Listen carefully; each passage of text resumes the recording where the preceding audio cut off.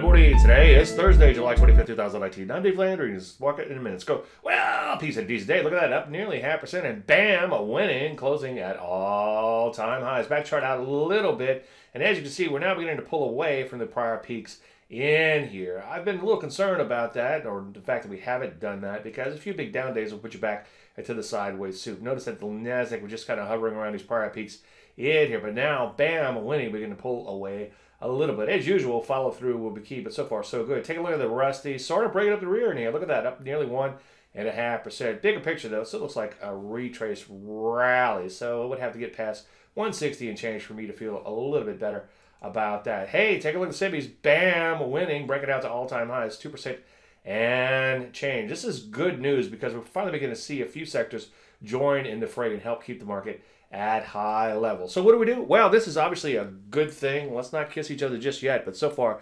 so good. Continue to be selective, though, and wait for setups. I'm not seeing a whole lot of setups just yet, but we will on follow through. I'm going to flash all this out later today in Chart Show. Hope to see you there. Any questions? Dave, DaveLandry.com. I'm Dave Landry, and you just heard the market